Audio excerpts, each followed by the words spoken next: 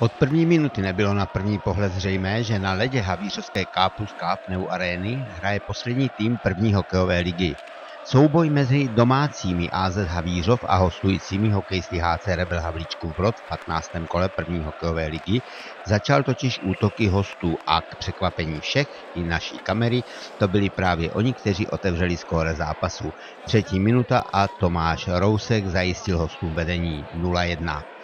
I další šance na hokejka hokejistů z Havlíčkova Brodu dávali tušit, že zdaleka tak snadné body pro domácí to asi nebudou, pokud vůbec budou, jak si slibovali před zápasem mnozí diváci z 2198 přítomných.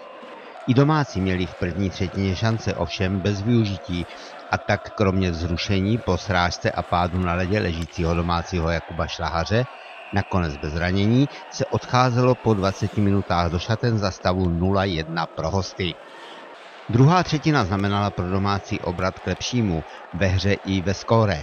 Nejdříve to bylo několik slibných a nadějných akcí, posléze i góly v brance hostů z Havlíčkova Brodu.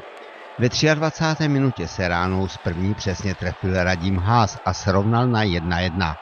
Ve 30. minutě hráli domácí přesilovku a dokázali bleskově využít, když Aron Chmělovský prudkou bombou téměř od modré překonal po druhé hostujícího svobodu a otočil skóre zápasu na 2-1 pro AZ.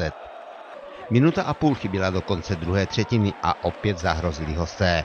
Daneček vyrazil střelu Maliníka a Jiří Kuchler backendem pohotově vrátil půl do šibenice Havířovské branky. Do šaten po druhé třetině se tedy odcházelo za stavu 2-2.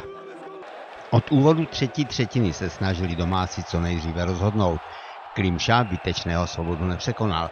Na druhé straně sedláček po sólu přes celé kluziště rovněž neproměnil. Ve 52. minutě při přesilovce 4 na 3 skončilo překvapivě nahození Radima Ostrčila od modré v sítí Havlíčko-Brovské branky 3-2 pro domácí. Ve zbývajícím čase už ani domácí Pechanec či hostující Tomek či Semrát nebyli střelecky úspěšní. A tak i když posledních 30 vteřin hráli hosté v šesti bez brankáře, na skore se už nic nezměnilo. Téměř 2200 spokojených diváků tak vidělo další vítězství domácích.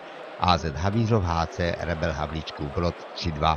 Po třetinách 0-1, 2-1 a 1-0.